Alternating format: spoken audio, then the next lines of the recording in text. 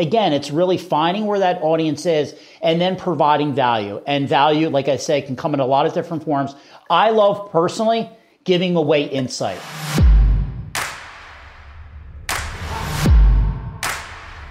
Hey, Millionaire University, you are invited to the main event.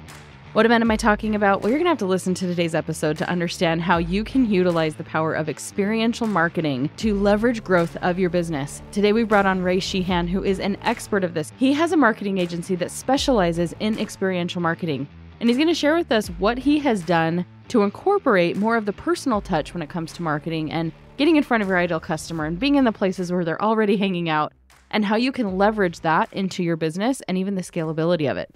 So get ready to take some notes because today is going to be an event of epic proportions. Class is in session. All right, welcome to the show, Ray. So great to have you. We're going to have a phenomenal conversation, I can already tell, about what you do and how we can help a lot of these business owners who are listening to have some enhanced marketing strategies under their belt. So thanks for coming on. Thank you so much for having me on the pod. Super excited about today's conversation. So, yeah, anytime I can talk about marketing, experiential marketing, you have my attention.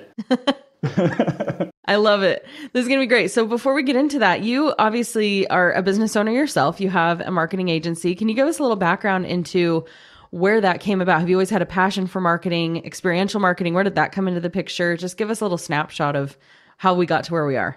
Yeah, it's a great question. It's it's interesting, kind of like how we landed the plane. I actually came from the special event space. So at a very young age, for whatever reason, I always had a knack for engaging and interacting with people, and I love bringing people together. It was just something I had a real passion for as a promoter, as a DJ, as a concert promoter. Just love bringing people together. So my story started really producing events. And those events really turned into much larger, large scale festivals, really, where we would take over major league ballparks and produce craft beer festivals and taco festivals and pizza festivals. Very lifestyle driven events is really where I started. So when we would host these events, we had a lot of brands come out to our events. And really the brands were there to shake hands, kiss babies, interact with our attendees, and they were there to really sell products and services telecom, insurance, home improvement, banking, you name it. So that was my first kind of introduction into working with the brands by way of my events. And then once COVID landed on my lap and we could no longer produce events, I quickly had to pivot and figure out a way, okay, how can I still run a business? And that's where the experiential agency really started four years ago. Yeah, I think we all can agree that there was some major curveballs thrown when COVID hit, and we had to make some huge adaptations to the way that we run business. And some people, it was like a huge advantage. And for the rest of us, well, for a lot of people, it was major questions I didn't have to ask myself about how I'm going to function in business now. And in the event space in particular, yeah, that would be a huge transition that you're going to have to make.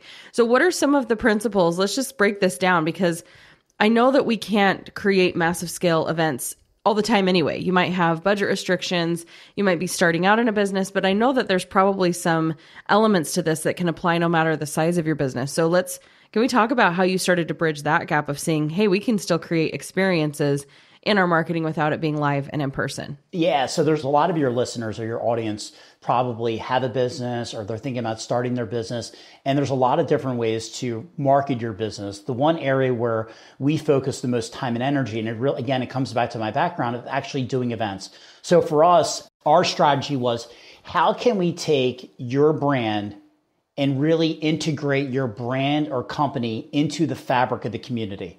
And it, to me, it's just another piece of your marketing strategy, whether you're doing pay per click or SEO or email marketing. To me, experiential marketing is just another vertical to go out and to really engage the community. And I love billboards. I love radio, love print. I think it all works, right? Advertising really works in frequency. So I'm not one of those guys that say that doesn't work or this does work. The one thing that I love about experiential marketing is it really gives you an opportunity to start to have a conversation with your target customer.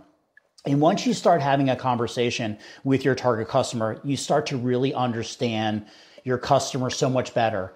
And then more importantly, you start to really understand the company, your company. Maybe there's certain things that you should be doing differently. Maybe your customer service is failing, or maybe your audience or your customer is looking for a certain product extension clearly when you're out there marketing you're doing experiential marketing you're marketing your brand. So ultimately the brands that we work with our report card is sales right? They're out there for lead generation. They're out there to close business. So that's really the one that people probably focus on the on the most. But there's clearly a much softer side of taking your brand. And this could be small medium or large. There might be someone listening right now has a very small business or a medium sized business or a large fortune 500 company really doesn't matter all this is really applicable to any brand or company out there and there's events come in a lot of different shapes and sizes to take your brand and get your brand out into the community yeah well, I mean, that's good to hear because I know, like I said, we're all coming in at different points in our businesses and looking for ways to create more of that connection. So, talk to me a little bit about that on what this looks like on a maybe granular level of creating more of that experience within our marketing efforts. Yeah. So the first thing you really want to decide who is your audience? Like you really, and it's probably like a, a duh, but it, it's really important. Like you have to think about, okay, my target customer. Where is my target customer when they're not interacting with my brand?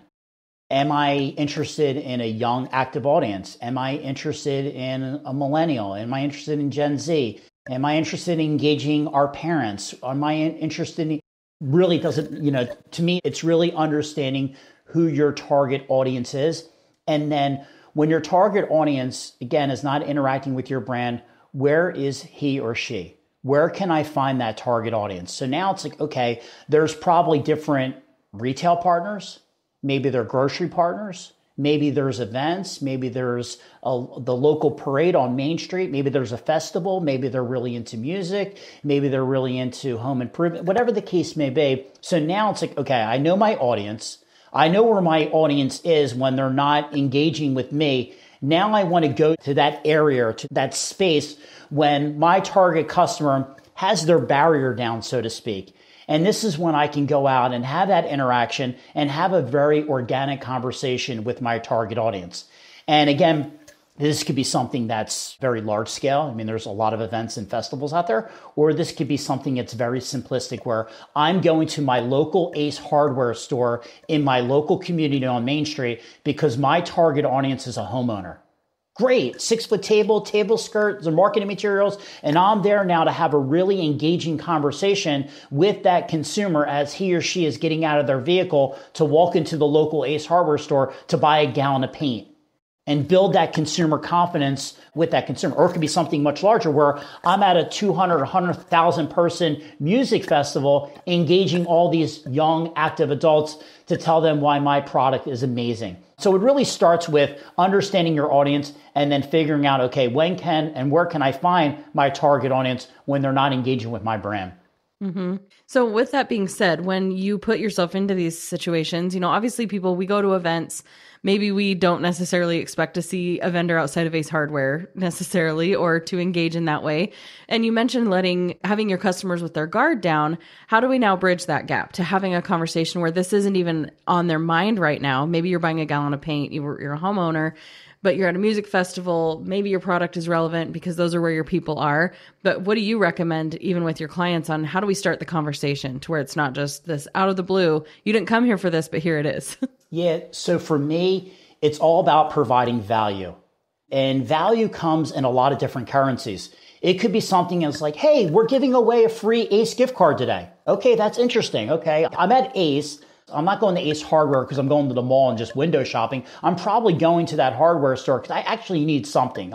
I'm going there because I have a problem. I need to fix something or I need, I'm doing something in my lawn. So there's someone outside of Ace Hardware actually giving away an Ace gift card. Well, that's interesting because I'm here to buy something. So you're giving away an Ace gift card. Well, how do I win that Ace gift card? And maybe it's something as simple as like, oh, we're doing a little fun game. We're playing spin the wheel, spin the wheel. Maybe you get a branded t-shirt or a hat or a pen or an Ace gift card So now you at least have the consumer over there where you can at least start having a conversation.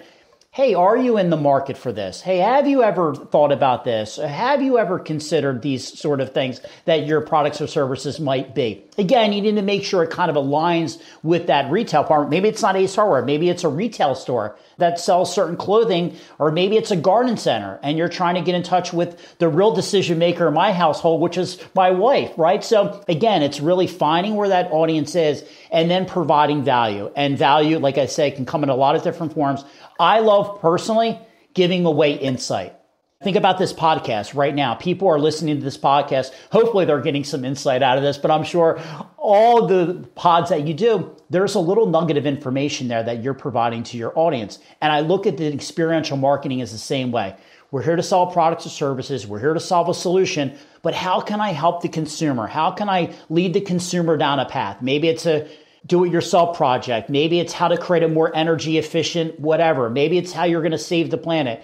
Maybe it's our corporate social responsibility. Whatever the case may be, you're there. So when that consumer walks away, they're just a little smarter before they got there. That's value. So it could be something as simple as that, that gift card I mentioned, or it could be you're giving them some information that they didn't know. And to me, that's worth something. And now you've kind of broken down the barrier. You've had that conversation. So now the next time that consumer is in the market to buy whatever that product or service is, they're going to think about your brand more differently because you were there to have that conversation. You broke down the barrier. You provided that valuable insight or education. There's a much higher probability now when they do need something, they're probably going to call you. Yeah. Well, and on that note, would you say that this approach is more of a long game strategy? Because even in the beginning, you're like, it really doesn't matter. We can billboards, all of the things, they work essentially in the same way. And when you're getting into this more experiential face to face environment, are we going out there with the anticipation we're going to see immediate sales? Like, are the clients that you're working with setting up booths and they're actually hoping to sell product or services same day or is this more of a just starting to really integrate into the community and building that name and that exposure? It's all the above. If you really think about it like coca-cola didn't put up one ad and say hey our job here is done right? Like they're constantly out. It's all about frequency. So it's same thing as like whether you're listening to a spot on the radio or TV or a billboard, you constantly are being reminded about T-Mobile. And then ultimately, when you're not happy with their service, you're thinking maybe, okay, now they're going to think more favorably about T-Mobile. Experiential marketing is the same thing. You're constantly out. The different thing about experiential marketing, not the different, but you're now at their play space. So if I'm a consumer, it's like, wow, T-Mobile really understands me. Like they know I'm here and the fact that they're here, there's alignment there. There's some brand affinity there because they've gone out of their way to come to where I'm at. So they're showing an interest in me. So for me, it's like if when you're doing the experiential marketing and you're there and you're engaging with that consumer, yes, you want to build that kind of that frequency and constantly being there, but it's also showing the consumer, hey, we're similar. We have the same sort of likes and interests. We share the same sort of culture or beliefs or what have you. And to me, these are all little things that help from a consumer confidence standpoint. So, yes, my recommendation is yeah, you don't go out and just do one pop up or one event. Yeah, you're going to get some leads that day and hopefully you close some deal. But it, to me, it's a real well thought out strategy and doing it consistently. The brands that are doing that, they're the ones that are seeing the most results. Yeah. I mean, and I'm, I have a question too about even the scalability factor because I know this is a really great exposure tool. It's great to build that connection. And then also, you are kind of going on this assumption that over time, word is going to spread. So, is this really a facilitator of word of mouth marketing and just getting more than just the exposure to the people that you're actually meeting at those venues and at those events? And relying on that to spread in its own organic way? Or what is the follow up methodology to this? Yeah, so you're basically looking at this in a couple different ways. So, A, you're going out, you're doing your experiential marketing program. You have your table, your tent, maybe you're doing cornhole, spin the wheel. You're doing something that's kind of engaging that us as consumers and as humans, we're just naturally curious creatures. So we now have this set up. Someone, like you mentioned, the Ace Hardware, like, what's going on over there? That's interesting. They're giving away a gift card. They spin the wheel. There's cornhole there. Like, well, this is kind of interesting. What's going on over there? So now we've got their attention. Well, now maybe we're enter the win, or maybe we're documenting that experience and now we're sharing that online through social.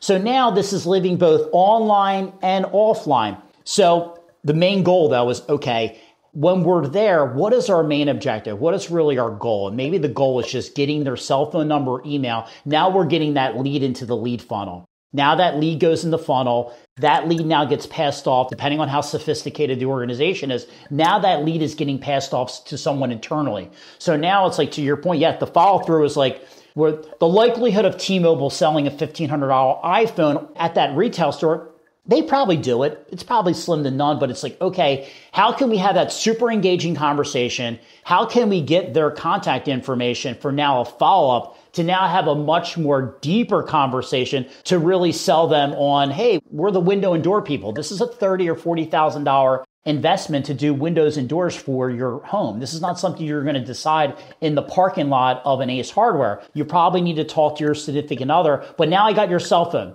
Now I got your email. Now I can drop that email into like a, a, CRM, like a MailChimp. And now you're peppering, I don't know if you necessarily use the word peppering, but now you're following up with that consumer with an email. Now this goes on for maybe six months. There's a much higher probability that that email address now turns that lead, now turns into a sale. So you're exactly right. It's not just being there hanging out, engaging with the community, it's also, okay, how can we leverage this experience so it lives on social? How can we leverage this? So now we, we're building up our email platform to send out emails to all these leads that we're getting.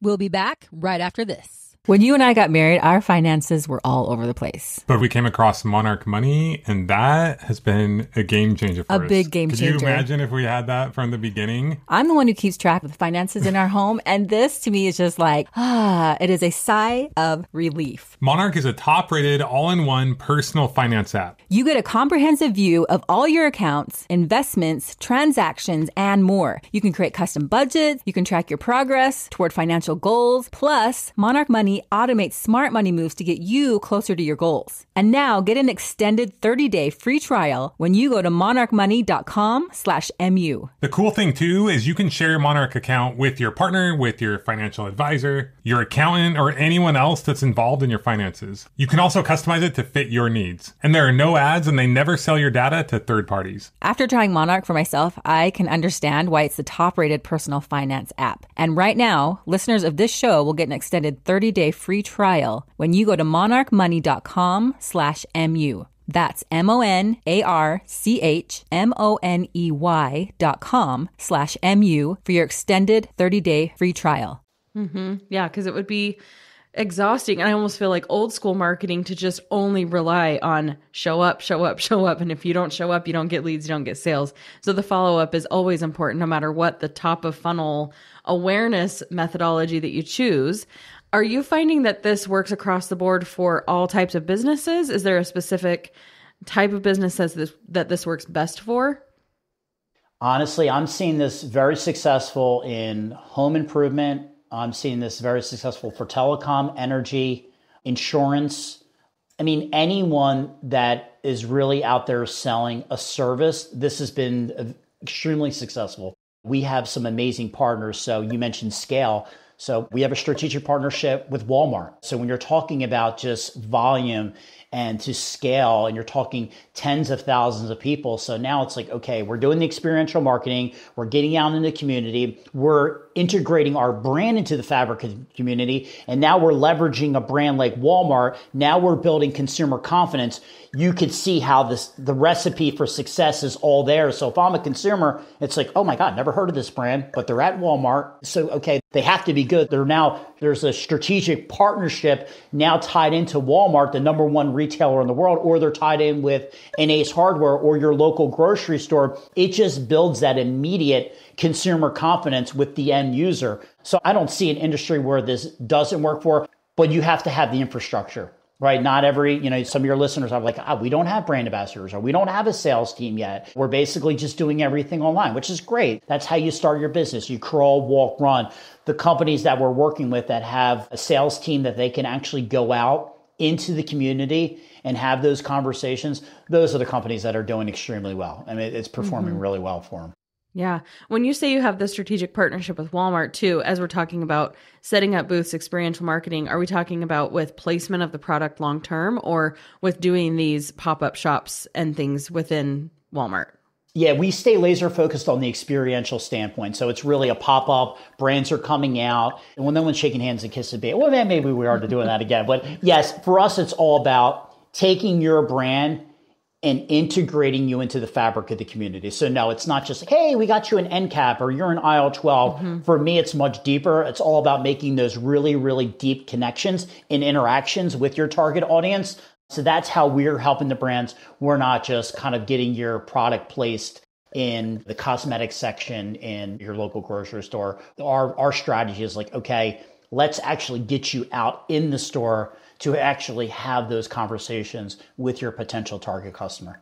And so this is going to look different like depending on the size of my business. I could be a smaller scale and it might be a recommendation of partnering with you guys and setting up the booth at Ace Hardware to help me and I'm really maybe a 1 to 5 person team. Yeah. And then large scale where you have ambassadors, you have sales reps that are in all different states and you're setting up partnerships with stores like Walmart where they can do pop-ups in multiple locations even at the same time and it's a much bigger I imagine strategy and picture on how you're doing that, but it works at all levels. It really does. So we have publicly traded companies that can scale and they're outgrowing. It's obviously for them, they're seeing fantastic numbers. And then we have your smaller, I don't want to say mom and pop businesses, but they're very small, one to five people. And they want to go out to a retail like an Ace or a garden center or a local grocery store that's seeing tens of thousands of people per week. And they're now taking their brand and exposing it to a whole audience that never even knew they existed. So it works for everyone. And all of our clients, they come in all different shapes and sizes. So anyone listening that has a very, very small business, we can help you. A medium sized business,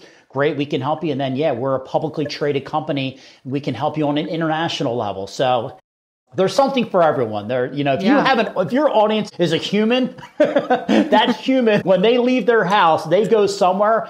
How I explain it is like, I'm like match.com. So there's a brand and there's a retailer or grocery. It's my job to kind of connect the, the, kind of be the conduit of your brand is trying to reach a target audience. That target audience shops here. Let me connect it to, and I'm going to place you right there. So when the consumer's kind of coming in and out of that location, they obviously believe in that other brand, that retail brand. So now that the fact that they see you there, there's an immediate connection, there's immediate consumer confidence, and now you're just having a very loose, organic conversation to your potential consumer. And that's been kind of the, the recipe for success.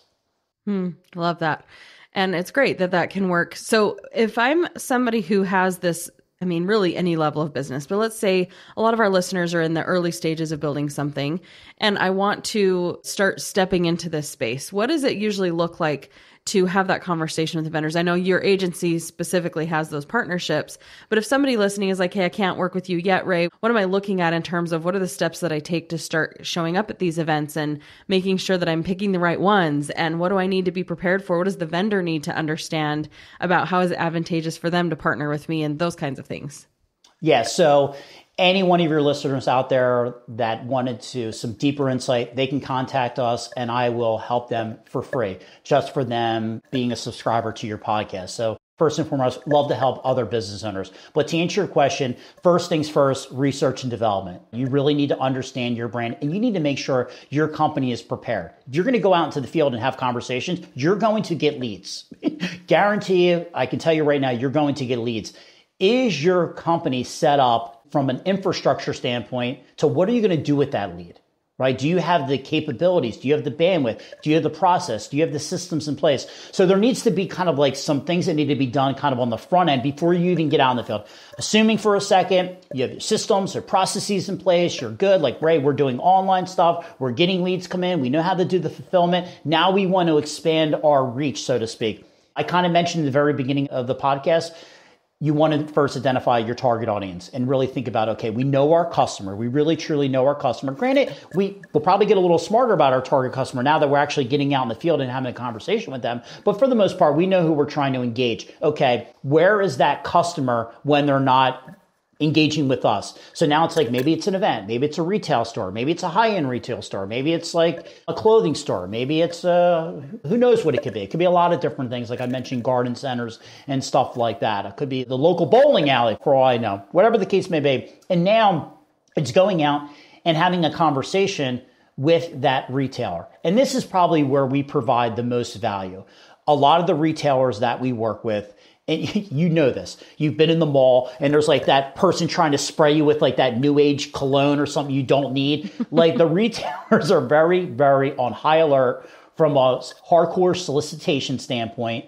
So our agency has done a good job of really coming up with, hey, here's the code of conduct. Here's the best business practices. Here's how we want to engage the consumer while we're literally at somebody's home. We're at their place of business.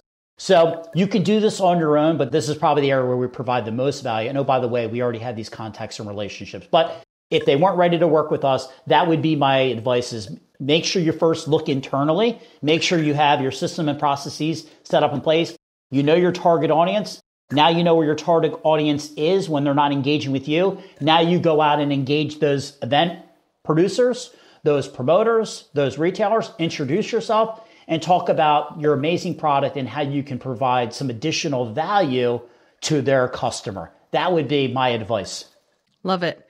Do you, this is kind of playing off of even the question before this, but when it comes to, we talked about follow up, but even preparation and awareness leading into, do you help with any marketing or do you recommend doing some marketing saying, we're going to be here? This is, you know, how radio shows say, like, we're going to be at this location on this day and we're doing these giveaways. I know we run, we see ads that are promoting things like that. We're going to be at the farmers market. We're going to be here.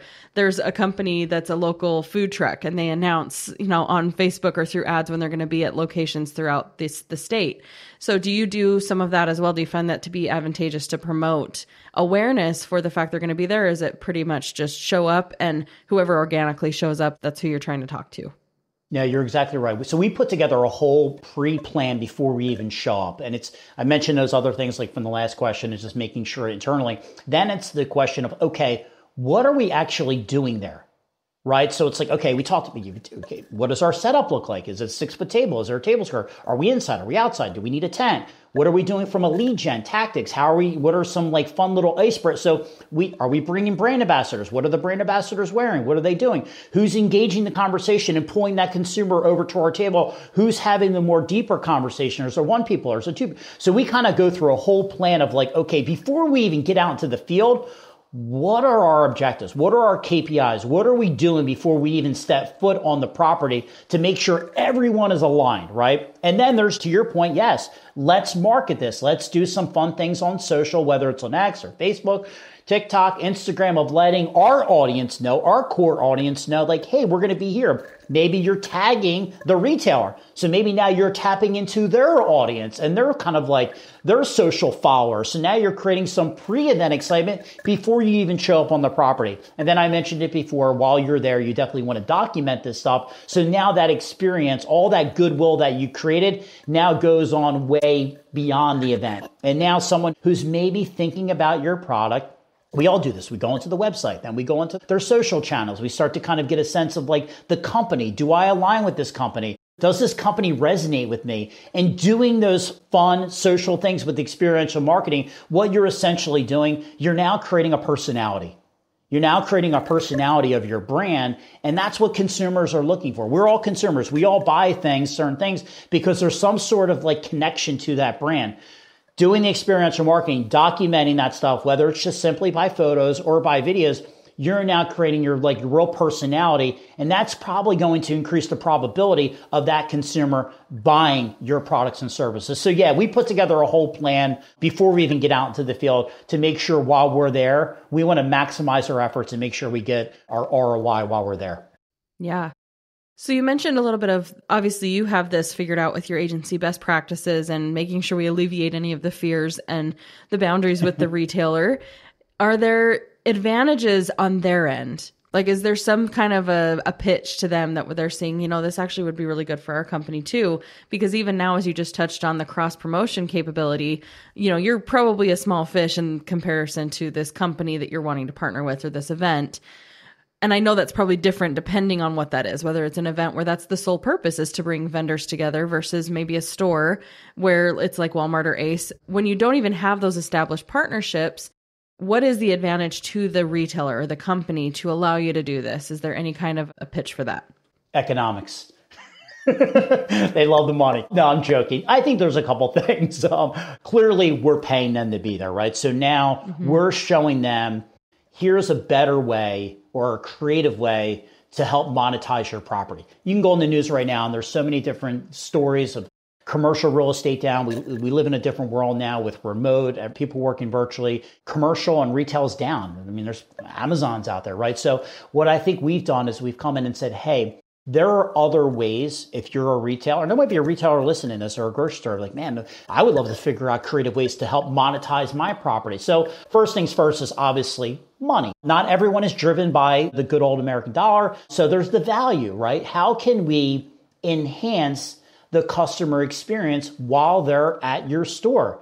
And that comes, like I mentioned before, that comes in a couple different forms. Could be a gift card, could just be insight, could be education, could be swag, could be merchandise, could be a lot of different things that the retailer could be like, oh, wow, that's interesting. It could just be the fact that we're there. This has been a big problem with a lot of the big box retailers. And I'm not suggesting the brands that were there are security guards, but shrinkage and loss prevention is a big problem. It's a big problem and you Target, Walmart, all of them, grocery stores, especially in the cities, loss prevention shrinkage is a huge problem. So just purely having more activity, having more people at your store, having more engagement, someone just simply making eye contact with consumers as they're coming in deters shoplifting, right? So there's a lot of there's a lot of like softer things that we like to tell the retailers like, hey, by having us there, we're over here. We're not in the way. We're not getting involved. We're not in the way of point of purchase. We're providing value. There's an economic benefit. We're here to enhance the customer experience. Maybe we're there to also deter someone from shoplifting. We're giving them a gift card. So there, to me, there's a lot of different things that we're doing from a value perspective that the retailer can be like, okay, you know what? This sounds interesting. Let me pilot this out. If this doesn't become a problem, great, right? We would be open to hosting more events with your agency. And I think we found like a really good recipe for success from doing so many of these events. I think we have it kind of figured out on our end. Yeah. I mean, I think this should have been obvious from the start in terms of this is going to be an expense of paying these venues to be there. I think I'm still in like pop up shop and just being able to set up something because we've done things with our kids with setting up a little shop in front of Ace Hardware and they didn't charge us for it. No. But this, where it's like it usually is going to be the case, especially if you're in an event space where you have multiple vendors, this is going to be something you're going to have to anticipate spending money for. You're not just, they're not going to do it out of the goodness of their heart of saying, yes, please come and promote your products within my business or in front of my business. So that's something we need to keep in mind too, is this all marketing has an expense attached to it. So are you finding this a dependent on location is this a moderate thing is this depending on size of the company in what terms of an investment we're looking at to be able to show up in these places it really depends. I mean, you're talking a couple hundred dollars, tens of thousands of dollars. It really ranges. How many gift cards are we purchasing? How, what value are we providing as it relates to swag and stuff like that? But let's put it this way we work with a lot of very very small companies small companies so we're not talking a ton of money i mean to go to the farmers market might be 50 or 100 dollars they're not expensive activations. They're really not. Yes, there are some larger retailers that have their the price of real estate in their mind is more expensive. We have certain retailers that are in markets like New York City. The the price of the way they value real estate is a lot differently than someone who maybe has a grocery store in Jackson, Mississippi. So by region, the type of retailer, the frequency, how long are we there? Well, we're just coming out for a weekend. Okay, that's that, we can work through that. Or it's like we're going to be here for the next 3 years. Okay, well the terms are now differently. So a lot of the negotiations start to get a little more favorable and a little more attractive. But to answer your question, any brand that's watching this podcast right now can afford to do this. We're not talking hundreds of thousands of dollars. Yes, there's probably brands out there that are spending a lot more, but we're talking huge scalability, international activations and stuff where T-Mobile, AT&T, Ver- these companies, yes, they are spending a lot of money, but they also have hundreds of field marketing managers out there doing this every single day. But anyone listening to this podcast right now can absolutely, again, they have the infrastructure and the processes and the systems in place, can afford to do this, and we'll see results from it. Yeah. Well, that's good to know. I think it's great that we have all the information. It was probably, like I said, obvious for everybody else, but I just wanted to make sure that we understood that this isn't this isn't a charitable thing. This is something we have to anticipate expense with for sure. Yeah. Have you found? I know we've touched on this, and I, at the risk of being repetitive, I want to just talk a little bit more too about how we have those processes built in. We've established those relationships. We show up. I'm thinking as a consumer too, when I go into Costco or these places and there's third party vendors there, and what is it that really engages? I know giveaways are a great incentive, but even on a, a human level, are you finding there's some character traits and some people who do better at this than others that the hard sellers versus soft selling? And do you know what I'm asking? Yeah, there's in the so there's a little bit of art and science. And to me it's sales is sales. And to me it's like the sales has really not changed much. The more conversations, the more engagement, the more likely you're just going to get a lead into the funnel. So what I would tell you is that generally speaking, an outgoing personality tends to do better that outgoing personality is willing to just, you don't have to be aggressive. You don't have to hardcore solicitation, but it simply is just making eye contact with people and just saying hello. It's simply just saying hi with a smile on your face. That, just that is enough where people might just walk around and say good morning or good afternoon or how are you doing or just greeting someone and just putting having a smile on their face to me is first step and having the right attitude. And then as you start to get a little deeper, then it's like, okay, now I want to listen. I want to understand. And I feel like a lot of salespeople, they get in the habit of just, they just want to talk and sell and sell and sell and sell. And to me, the really good salespeople out there, the ones that can really understand, we're really solving a problem. And it's like we don't know what problem to solve until we hear the problem. And so for me, as it relates to like problem solving, it's really kind of getting into what I like to call solution based thinking. But to answer your question, yes, all the lead gen tactics to spin the wheel. We've all been at events and there's all these like fun little like, there's the photo booth and stuff like that. Not everyone has that budget, right? To go out and rent a photo booth to do these fun little like campy things on location. Some of it could be as simple as just outgoing personality, happy to be there, passionate about what they're doing, and just simply saying hello to every single person that's there and not sitting there like on their phone. Like you'd be shocked. You mentioned Costco, Costco, you'll see people there just not, not engaged, looking down on their phone. It's like, if you're going to be there, why not maximize your time while you're there? Mm-hmm. Can you talk a little bit more about the solution based marketing? As I know we're talking a lot about this specific framework, you obviously, though, have a knack and a genius for marketing in general. So I know that some of those principles of what you just even mentioned, I would love to dive deeper. They apply to us regardless of the modality that we choose to market. So I feel like that's an important philosophy that we could talk about over and over and over again on the show because it's so important to understand the power of problem and solution marketing. For me, it's everything. I mean, that's really the impetus and the success of my business really comes down to solution based thinking and being able to solve problems.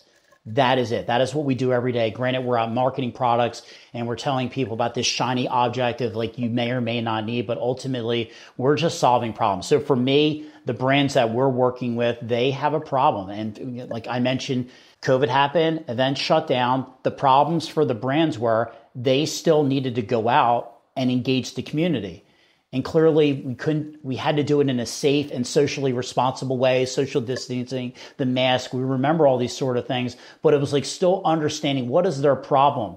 And for me, it was being able to, okay, I got to identify their problem. And now I need to come up with a solution to kind of fix their problem. And the solution for me was as they're shutting down all these businesses, gyms, restaurants, what one thing they could not, one thing they couldn't shut down were places that were deemed essential. Okay. Solution Brand needs to sell their products. How does brand get out into the marketplace and sell their product? The, the solution is let me identify places that are deemed essential. Okay, now the brand, that brand has a certain audience that they need to get in touch with. Let me try to find that consumer. Where are they at? Let me problem solve on that. So for me, it's really sitting down with the brand, whoever you're working with, or your customer for that matter, and really understanding what are your challenges. And those are the questions I like to ask. You know, what kind of keeps you up at night? What are the certain things that kind of just rattle around in your head and just take up real estate in your head? And if you can get that out of your client and for them to give you that, and now it's a matter of your team sitting back and like, okay, now let me develop a strategy. Let me develop a kind of like a solution for their problems. If you can do that, to me, that's everything.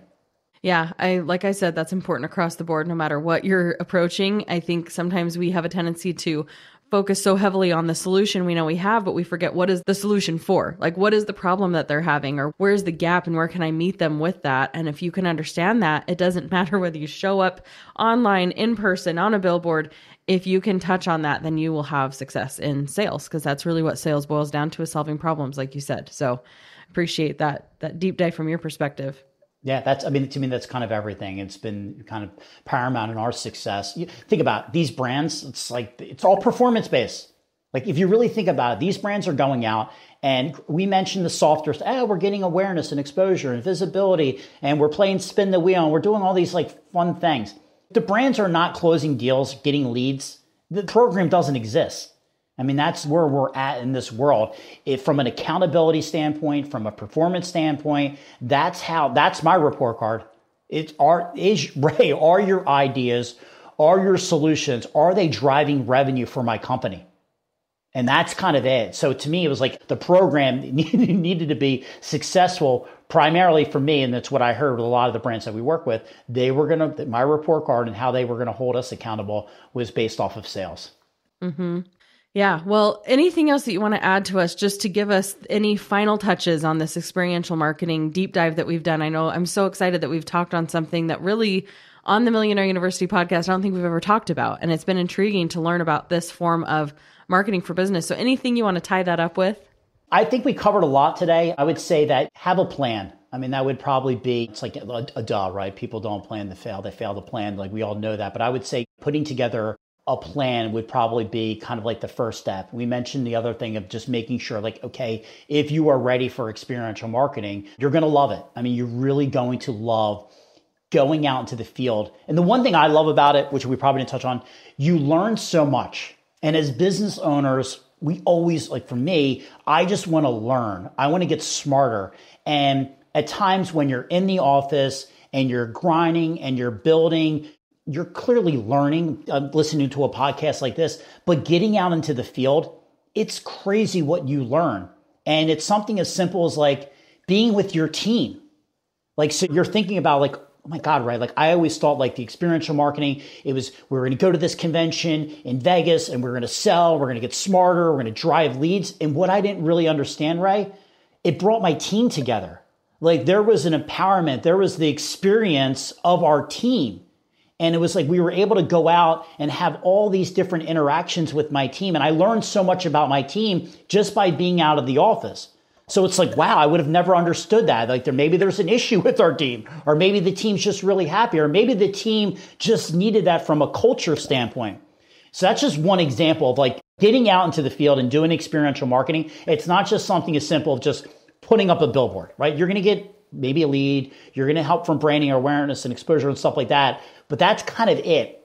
When you're out in the field and you're talking to your end user, you're going to hear some truths. You might not want to hear those truths. You might embrace those truths. You might want to correct those truths. And then your team's there. You get to ha- have a, a, totally different interaction with them, which is really fun. You kind of build up the morale of the team, taking them out. Maybe you're going out to a dinner and stuff like that. Like to me, like these are important things. So I would say that when you're thinking about experiential marketing, most of us look at it from like, and I can mention, hey, Ray, how many sales are we getting from this? But then to me, there's a much, much softer side of going out into the field and kind of engaging the community. So yeah, I would invite everyone, if you haven't done it, to absolutely try it. And if anyone needed some deeper insight of just, hey, Ray, I had some questions or I wanted some more information, I'd be happy to help any of your listeners today. Awesome.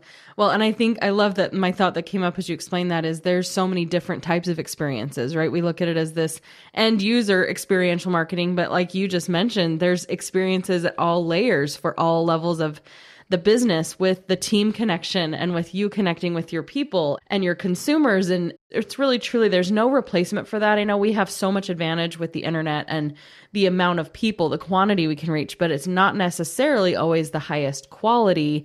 And if you can take what you've learned in those experiential places and apply that to even more of your efforts in the scalability, then you're going to be all the more prepared and fine tuned with your marketing efforts. So I'm glad that you mentioned that and touched on that because I wouldn't have even thought about that too as being an advantage. Yeah, there's a lot. I mean, the companies out there that are, in my opinion, they're doing everything. They're doing their above the mm-hmm. line stuff. They're doing the social, pay per click, SEO. They have a great website. They're doing the experiential marketing. The ones out there that are kind of doing it all, they're the ones that are really just seeing just some amazing growth and success, and they're able to kind of scale their business. Not everyone here might be ready for that, but when they are, there's agencies, not even us, there's other agencies out there that can absolutely help you and grow and kind of get out into the community to do all those little touch points that we just mentioned. Mm-hmm. Awesome. Well, where can we find you and learn more information if this is a direction that we want to start heading? Yeah, go to oldcitymedia.com. Again, my name is Ray, so my email address is very easy. It's ray at oldcitymedia.com. And if we can help anyone, we'd love to do so. Awesome. Thanks so much, Ray. Really fun conversation. And it's been great to understand this side of marketing and have our, our minds open a little bit. So, again, thanks for bringing all the value today. Thank you for having me as a guest. Of course. Something I love the most about Millionaire University is the access that we're able to have to brilliant people who are coming on and sharing their strategies and the ways that we can enhance and level up our marketing and our business building skills. Thank you so much to Ray and our other sponsors for today's episode and being able to provide this level of value and give us insight and a framework and opening up the door to yet another marketing tool and strategy that we may have not considered before. Make sure you're checking out all of our other free resources at millionaireuniversity.com. We'll see you guys on the next episode. Class is officially dismissed.